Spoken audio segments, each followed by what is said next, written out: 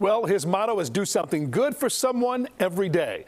Outgoing Secretary of State Jesse White is arguably one of the most popular elected officials in Illinois with a career that spanned decades, not to mention his world famous Jesse White tumblers. He's Illinois' longest serving Secretary of State and the first African American to hold the office. Next week, though, he officially retires from political life.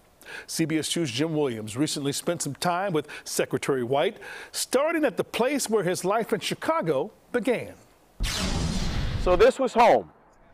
Yeah, Jim, when I moved in from Alton, Illinois, we moved to a, a building that was here, it was about four stories high. I lived on the third floor. On a cold Wednesday morning, Jesse White, no coat for him, takes us back to the near north side and the stretch of Division Street where he was raised with family and neighbors who helped form his future.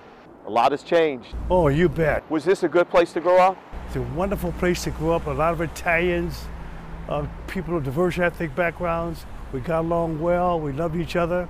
We supported each other. Sports also played a huge role in White's life.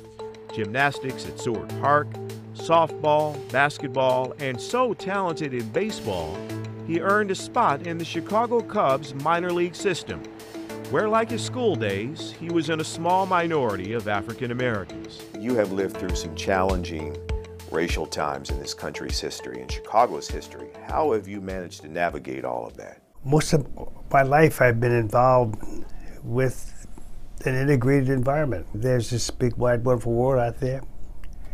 I know that if you are to function in it, you have to figure out a way to get along with one another. Those early lessons kept White strong when he went south for college to Alabama State. He found he couldn't get a seat in the front of the bus or at a restaurant. He says a young local pastor helped guide him, Martin Luther King Jr. We learned a lot from him, a man who had a giving and a caring spirit and left an everlasting impression upon me. White later returned home and taught grade school in Chicago. Politics, though, called and in his first try for public office, he was elected state representative in 1974, winning handily in a district that was 85% white. Tell me I cannot achieve. My attitude is, watch me.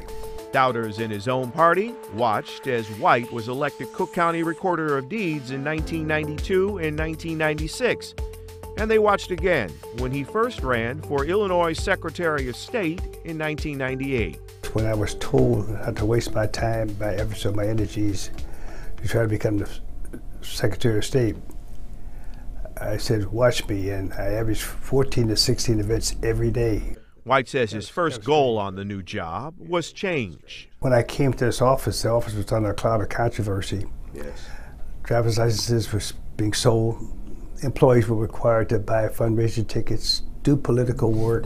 White says he put a quick end to all of that he also expanded the state's organ donation program and created stricter provisions for teen drivers. And we've saved a lot of lives as a result of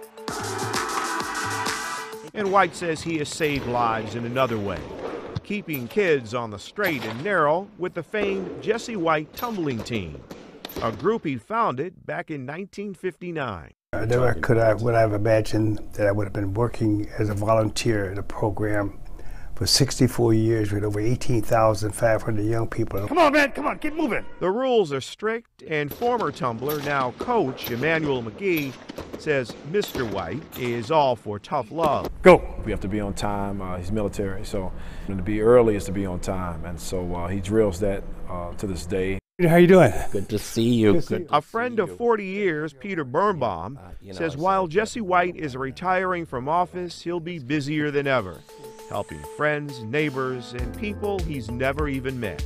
He's able to do these things because he takes just a very uh, simple, pragmatic, and thoughtful approach to life, which at its core is being of service to others, and particularly uh, the most vulnerable children among us. Even at age 88. I've enjoyed the experiences that I've, things that I've done in life, places where I've gone, the work that I've been involved with. I just have had a wonderful ride. What an incredible man and career. And there's one more thing we want to show you and tell you about Jesse White. Check out these photos. After college, he was an Army paratrooper and jumped out of airplanes a total of 35 times. Mr. White loves to talk about it to this day. Wow. He's a legend for sure. So much history there. I just want to give a shout out to Jim Williams and Edie Caston, the producer of that, uh, for the work they put into giving us such a, a really in depth look back. Well down, well done to Jesse White.